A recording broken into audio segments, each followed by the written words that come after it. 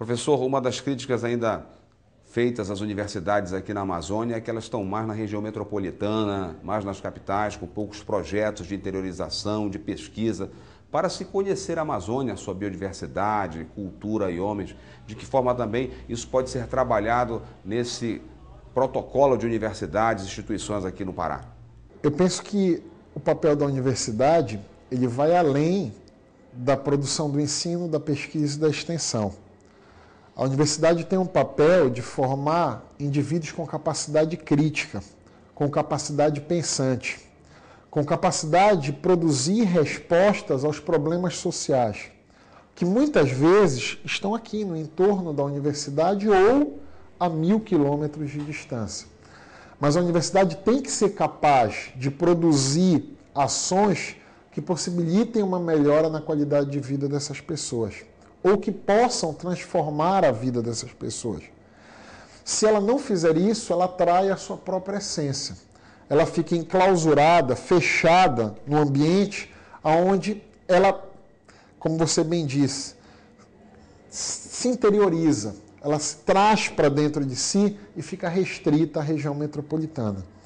Então, eu acho que ah, essa política de extramuro da universidade ela não se dará somente através da concessão de bolsa, de auxílio moradia, não, mas estimulando com que essas pessoas possam vir à universidade ou a universidade ir até ela, produzindo pequenos cursos, dando a ela a condição de se inserir no mercado de trabalho. Esse é um outro viés. Às vezes, nós produzimos algo na academia isso que produzimos fica dentro de bibliotecas, sem que a população tenha acesso ao que de fato nós produzimos. Então é necessário, acima de tudo, nós criarmos mecanismos para que aquela população que está no entorno da universidade ela possa de alguma forma se beneficiar daquilo que é produzido lá.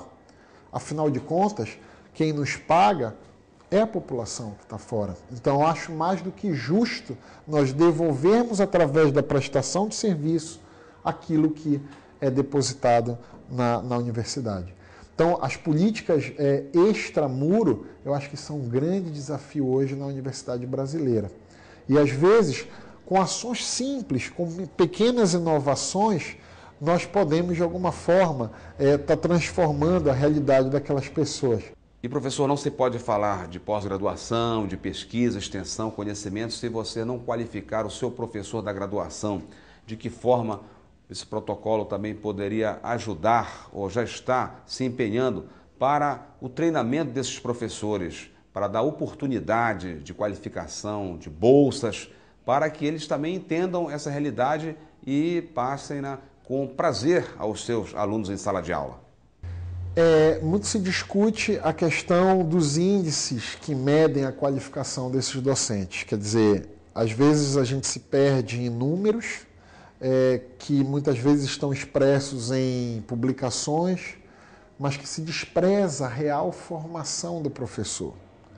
Então, hoje, o professor universitário ele tem um papel importante, porque ele vai induzir aquele ser que está ali sentado. É, o professor universitário hoje, ele deve ser a mola mestra que vai possibilitar levar conhecimento à população. Eu penso que a qualificação do professor, ela passa acima de tudo por uma sólida formação no âmbito da pós-graduação.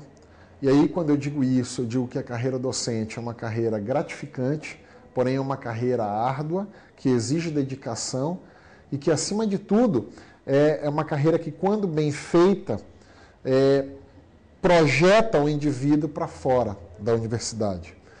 Mas eu acho que, volto a dizer, o protocolo entre as instituições, e aí eu insiro a UNAMA, porque penso que ela tem um papel importante no, auxiliando a Universidade Federal do Pará e as outras IES a construir essa política de qualificação. Nós temos por obrigação, pensar em instrumentos que possam qualificar o nosso docente. Mas não só pensando no fator quantitativo, pensando em ministrar a esse docente cursos simples sobre a metodologia do ensino superior, cursos sobre é, o papel da universidade na, na gestão pública, cursos sobre o papel da universidade na sociedade, porque senão nós corremos o grave risco de termos ilhas de excelência. E isso não é desejável sob o ponto de vista de uma análise é, global da universidade.